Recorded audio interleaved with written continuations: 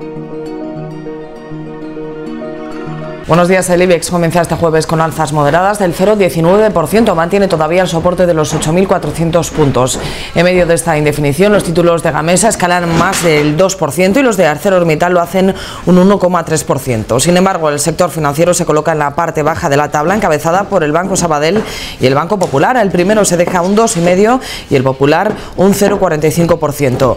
Hoy en el parque hay que estar muy pendientes de Repsol, ya que las provincias argentinas de Chubut y Santa Cruz han retirado las licencias de explotación de IPF. Además de la situación de la petrolera, hoy el Tesoro sale en busca de financiación. Lo hacen una subasta de bonos a 3, 4 y 6 años, donde espera captar hasta 3.500 millones de euros. En el resto de Europa se impone el tono mixto, mientras que en Asia el índice Nikkei de la Bolsa de Tokio ha cerrado con un avance del 0,7%, más allá de los 10.000 puntos.